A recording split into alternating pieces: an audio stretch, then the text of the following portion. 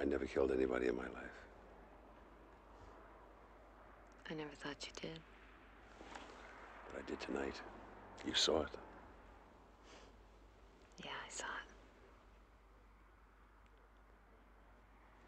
it. Some champagne? No.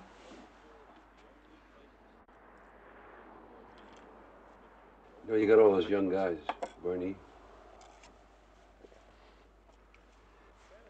Can still see them. I'm an old man.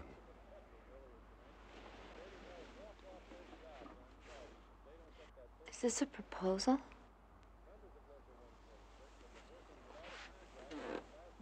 Anyone ever take care of you like I did? No. You feel safe? Yes. Got nice weather in Florida.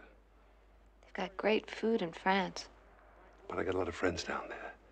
I tell you, I- I'll buy you new clothes. I'll show you off. Show off what? Well, you know, just just let the boys see how well I turned out. Please.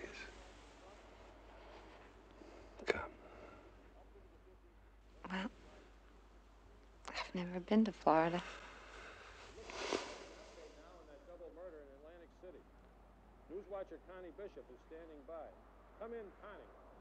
Bob, we've just had a break in the Atlantic City story. A witness has come forward who has described the gunman. This is a police composite of that man. Hey, hey, that's me. That's me. Anyone with any information should please Hey, call the me. Atlantic City hotline. It's hotline. me. Or call We'll stop on the way down and buy kept all the newspapers. This story's going to be big all over the country. Remember, Gangland Newswatch sling, nips number apart is Atlantic City. 246 3100. All calls will be kept confidential. France is very nice.